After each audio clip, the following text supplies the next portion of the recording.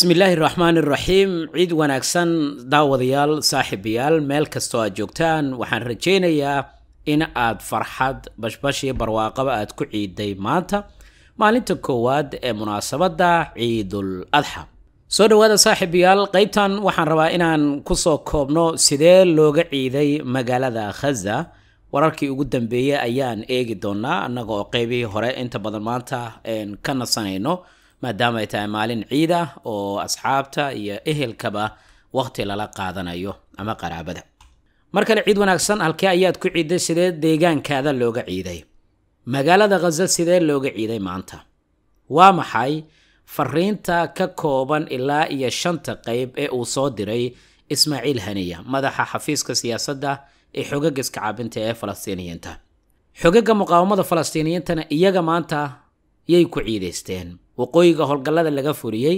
gawaarida ciidamada israa'iil iyaga oo la jiidaya la arkay kadib markii muqaawamada falastiiniyiinta maanta ay ku kala baxeen tirada askarta la dilay sawiradan kuu muuqanaya dhammaantood waa lagu kala baxay. Waxaa kaloo aan eegi doonaa macluumaadka ku saabsan dhinaca iyo xuutiyiinta yeman iyagana howlgalka ay fuliyeen.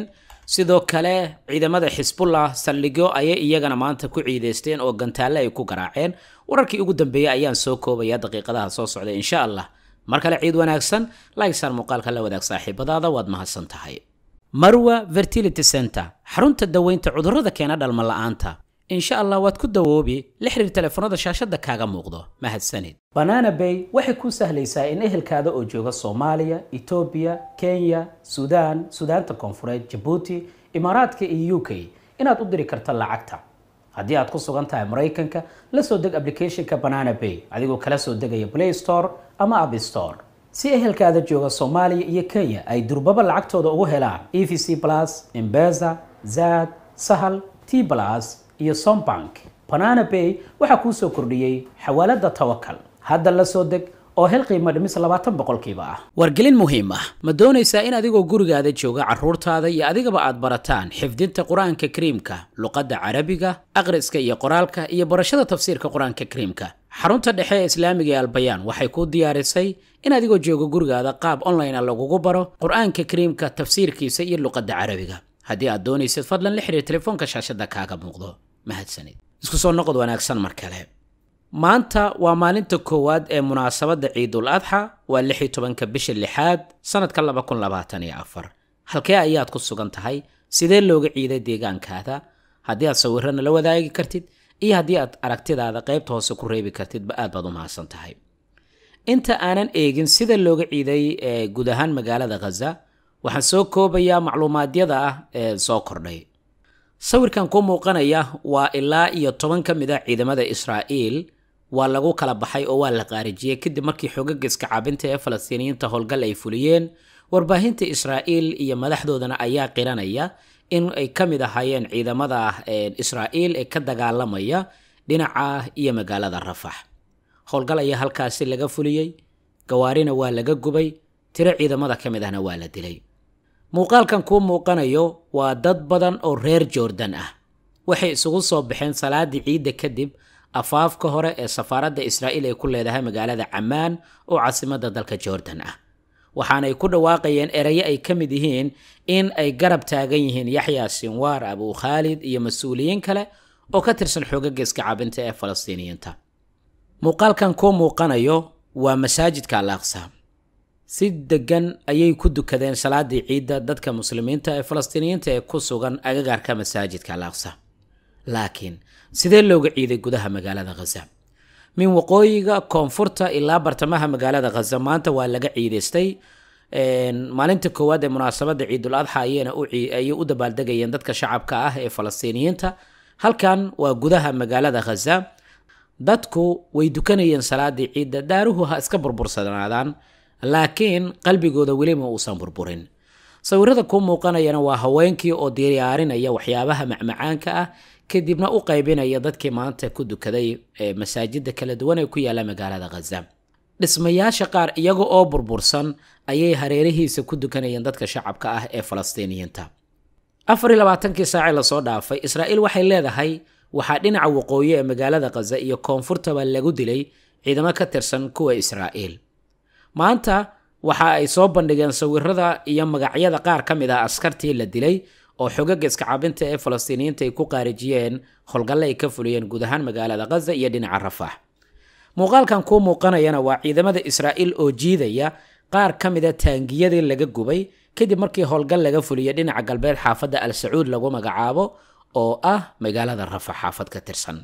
Sidoo kale xogaga iskacaabinta gaar ahaan saraayil qudus oo garabka islaamig jihaada ayaa waxay shaaciyeen inay howlgal ay ka fuliyeen isla xaafadda al sacuud lagu magacaabo ama sacuudi xaafadan oo galbeedka magaalada rafaxa. Waxay sheegeen gawaari badan inay gubeen xubno badan oo ciidamada israa'iil ka tirsan ay halkaasi ay ku dileen. Waxaa kaloo ay sheegeen laba sargaal oo ka tirsan guutada sideedaad ee unuga lix boqol iyo lixaad in ay ku qaarijiyeen kadib markii howlgaalkan ay ka fuliyeen xaafadda sacuudi galbeedka ee magaalada rafax. Sidaasi oo kale deegaanka talaal sultaan lagu magacaabo laba ruux oo shacab ah iyo diyaaradaha dagaalka israa'iil ee duqeyn ay ku dileen maanta laakiin iyagu waxay qiranayaan in saraakiil looga dilay howlgal halkaasi laga fuliyey. Muuqaalkan kuu muuqanayana waa saldhig ay ciidamada israa'iil ay lahaayeen saldhigan oo bayaadbaliida lagu magacaabo ciidamada israa'iil ee ka howlgalaya aagga lubnaan ayaa inta badan ku sugnaa halkan waxaana soo bandhigay xoogaga xisbullah waxay sheegeen halkan inay gantaalle ay ku garaaceen.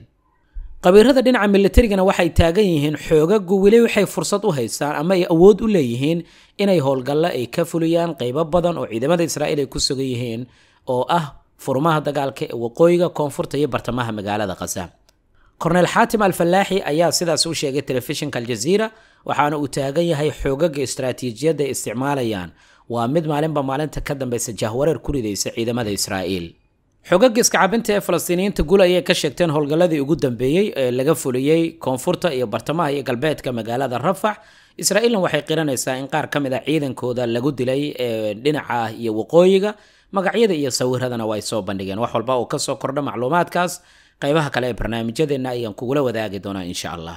Markan waxaan eegaynaa fariinta uu soo diray ismaaciil haniya iyo howlgallada ay fuliyeen xuutiyiinta yemen madaxa xafiiska siyaasadda ee xogaga iskacaabinta ee falastiiniyiinta ismaaciil haniya ayaa jeediyey khudbad dhinacyo badan taabanaysa oo uu kaga hadlayay munaasabadda ciidul adxa iyo sidoo kale fariin uu u diray dadka shacabka ah xogaga iskacaabinta ee falastiiniyiinta beesha caalamka dowladaha carabta iyo islaamka. Fariintiisa ilaa iyo shan qeyb ayay ka koobneed qayb kasta iyo fariintiisa waxay ku saabsaneedna waan dul istaagi doonaa haddii aan ku hormarno fariintiisa ugu horreysa wuxuu u diray dadka shacabka ah ee falastiiniyiinta. Wuxuu sheegay dadka shacabka ee falastiiniyiinta inay muujiyeen geesinimo dulqaad iyo wax kasta taas oo keentay buu yidhi inay guuldaraystaan ciidamada israa'iil ee dullaanka ku qaaday magaalada khaza waxaan ilaahay uga baryayaa buu yidhi intii dhimatay inuu ilaahay u naxariisto oo jannatulfardows uu geeyo inta dhaawacna caafimaad ay helaan sidoo kale waxa uu yidhi jilbaha ayay aasteen dadaal kasta ayay sameeyeen dadka shacabka ah. Ugu dambaynna way guulaysan doonaan iyaga oo xor ah ayayna deegaanadooda ku noolaan doonaan. Fariintiisa xigta waxa uu ismaaciil haniya uu u diray xogaga iskacaabinta ee falastiiniyiinta si gaar ahaaneed guutada ciisediin alqasaam saraaya alqudus iyo xubnaha kale ee ka dagaalamaya furumaha dagaalka. Waxa uu yidhi waxaad la soo baxdeen farsamo culus. Haddana qaas ah oo caalamka oo idil tusisay tabardarrada ciidamada gumaystaha ee israa'iil taasoo horseeda inaad xubno badan aad ka dishaan naafaysaan kana gubtaan gawaarida ciidanka. Waxaan idinkugu baaqayaa in aad adkaysi muujisaan. Ugu dambayn waan guulaysan doonnaa ayuu yidhi ismaaciil hayniya. Fariintiisa saddexaad wuxuu u diray dowladaha carabta iyo dadka islaamka. Fariinta saddexaad inta badan arrintaas ayuu diiradda ku saaray si gaar ahaaneed dowladaha carabta iyo dadka islaamka.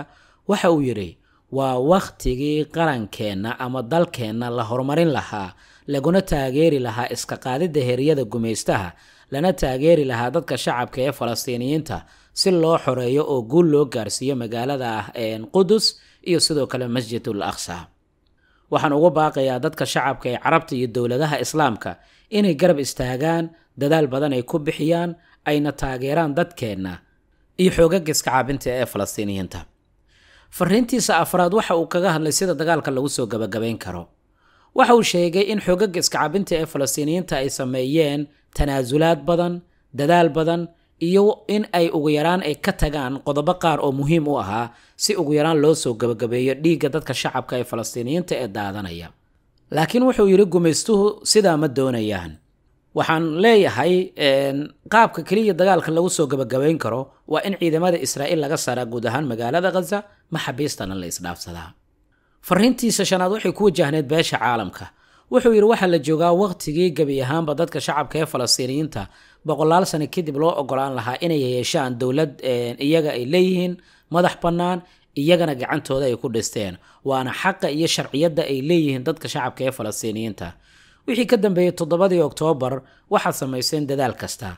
Laakiin waxaan leeyahay waa in ciidamada gumaystaha laga saaraa guud ahaan magaalada khaza si ay dadka shacabka ay u helaan xorriyad madax bannaani dibna ay ugu soo laabtaan deegaankooda si ay u dhistaan dowlad loo dhan yahay. Fariintiisa shantaas arrin ayaa ugu muhiimsaneyd ismaaciil haniya waxa uu ka jeediyey magaalada dowxa oo caasimada dalka qatar ah waxaanu fariintiisa inta badan uu kaga hadlayay munaasabadda ciidul adxa laakiin shanta meel ee ay taabanaysay nuxurka markaan soo koobo waa intaas. Dhinaca kale kooxaha xuutiyiinta ee dalka yeman ayaa waxay shaacay ka qaadeen inay weerar ay ka fuliyeen agagaarka deegaanka mokha lagu magacaabo. Afhayeenka kooxda xuutiyiinta ee dalka yeman ayaa waxa uu shaaciyey inay bartilmaamaysadeen markab xamuul ahaa oo sida la sheego ku sugnaa biyaha badda cas waxaana lagu waramayaa in markabkaasi uu galbinayo markab kale oo laga leeyahay dalka maraykanka. Laakiin kooxaha xuutiyiinta ee dalka yeman waxaa u suuro gashay inay weerarkaas fuliyaan hay'adda badaha ee dowladda britain waxay shaacisay inay heleen macluumaadka ku saabsan in markabkaani xamuulka qaadan lagu weeraray. Meel afartan yutrikaal meel u jirta magaalada mokha oo dalka yeman ah sida lagu sheegay warbixintan waana weerar kale oo kooxaha xuutiyiinta yeman ay ka geysanayaan biyaha badda cas. Sagaashan boqolkiiba kooxdan waxaa u suuro gashay inay bartilmaamaysadaan maraakiib kala duwan oo halkan maraysay waxaana guuldarrada ugu weyn ay soo gaartay ciidamada maraykanka oo isku dayay xitaa inay galbiyaan maraakiibta ganacsi ee la doonayo in halkan la marsiiyo si loo gaarsiiyo gudaha israa'iil. Sidaasi oo kale kooxaha xuutiyiinta ee dalka yeman waxay taagan yihiin. Waxaan sii wadi doonaa garab istaagga aan garab taagannahay dadka shacabka ee falastiiniyiinta annaga oo bartilmaamaysanayna maraakiibta ganacsi ee isku dayaya inay gudaha u galaan israa'iil dhinaca kale haddii aan eegno waxyaabaha ugu dambeeya ee soo kordhay dagaalku wuxuu soconayaa maalintii laba boqol konton iyo afraad. Maantana waa maalinta koowaad ee munaasabadda ciidul adxa iyadoo aan qaybihii hore kaga hadalnay sida munaasabadda ciidul adxa maanta looga ciiday ama looga dukaday guud ahaan magaalada khaza dadka shacabka ah ee turkida ayaa maanta waxay isu soo bax weyn ay ka dhigeen masaajidka haya sofia oo ku yaalla magaalada istanbul ee dalka turkiga waxaana dadka ay la soo baxeen boorar ay ku garab istaagayaan dadka shacabka ee falastiiniyiinta waxaana ay ku baaqayeen sida ugu dhaqsiyaha badan dagaalkaasi in loo soo gabagabeeyo. Guud ahaan shacabka dowladaha islaamka ayaa maanta u duceeyay dadka shacabka ee falastiiniyiinta inuu ilaahay dhibaatada ka dulqaado sidaas oo kalena garab istaag ayay muujiyeen. Magaalada aad ku sugan tahay maanta sidan oo kale miyaa garab istaag loogu muujiyey dadka shacabka ee falastiiniyiinta ra'iisul wasaaraha israa'iil netanyahu ayaa sida uu baahiya telefishinka ee janaal saddex iyo toban la yidhaahdo waxa uu yidhi mararka qaarkii waxaan qaadanaa go'aano aanan suuragal ahayn. Keliyana ujeeddadu waxay tahay in la soo gabagabeeyo ama gebi ahaanba laga adkaado xogaga iska cabinta ee falastiiniyiinta. Waxaan haysanaa ciidan waxaan haysanaa dowlad. Ujeeddaduna waxay tahay in la gaaro hadafka kama dambeysta ee ah in la soo gabagabeeyo awoodda xogaga iska cabinta ee falastiiniyiinta ee magaalada khaza go'aankaasina mararka qaarkii waa mid aan la aqbali karaynin sidaas waxaa yidhi ra'iisul wasaaraha israa'iil benyamin netanyahu. Telefishinka aljaziirana muuqaalkan ayuu baahinaya waa ciidamada israa'iil oo dhinaca rafax kala baxaya qaar ka mida gaadiidka dagaal ee laga burburiyey. Rafaxna maanta waxaa lagu waramayaa in askar badan looga dilay. Shalayna sidaasi oo kale howlgal ay xogaga fuliyeen ilaa iyo sideed askari ayaa looga dilay ciidamada israa'iil. Xogaga iska cabinta ee falastiiniyiinta sidoo kale waxay maanta ay howlgalle ay ka fuliyeen deegaanka al iyo sidoo kale shabuura ciidamada israa'iilna dhankooda waxaa lagu waramayaa deegaanka al zaytuun ama xaafadda al zaytuun oo magaalada khaza ah iyo deegaanka shabuura oo dhinaca ah iyo magaalada rafax ah inay halkaasi ay duqeyme ay ka fuliyeen. Iyadoo maanta munaasabadda ciidul adxa loo dabaaldegayana waxaa lagu waramayaa diyaaradaha ah ee gargaarka sida maanta inay gargaar ay ku daadiyeen dhinaca koonfureed oo magaalada khaza ah waana dhinaca qaanyoonis waxyaabaha ka soo kordha arrimaha magaalada khaza waan arki doonaa laakiin markaan aan soo kooba suudaan maxaa ka soo kordhay cabdifatax al burhaan hogaamiyaha ciidamada dowladda suudaan ahna madaxweynaha dalkaasi ayaa waxa uu shaaciyey in kalsooni weyn uu ku qabo inuu ka guulaysan karayo xogaga dacmu sariic waxaana xameytati uu ku eedeeyey inuu isaga baxay wadahadallo la doonayay in dagaalka lagu soo gabagabeeyo taliyaha ciidamada dowladda suudaan ahna madaxa golaha madaxtinimada ee dalkaasi cabdifataax al burhaan ayaa maanta khudbad u jeediyey munaasabadda ciidda ee adxa daraaddeed.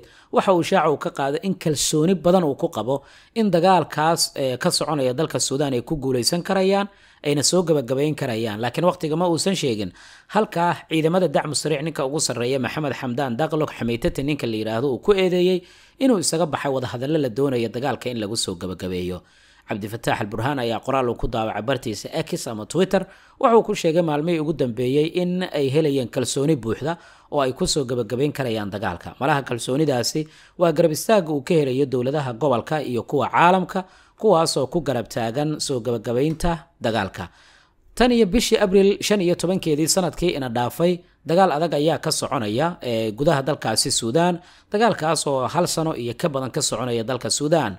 Waxaana uu sababay in ay kumanaan ruux ay dhintaan kuwo kalena ay ka barakacaan deegaanadooda. Sidoo kale magaalooyin dhowra ayaa lagu waramayaa in ay go-doon ay ku jiraan oo ay go-doomiyeen xogaga dacmu sariic falanqayntii qaybtan waa naga intaa mid lamida intaan ku kulmi doona nabadgelyo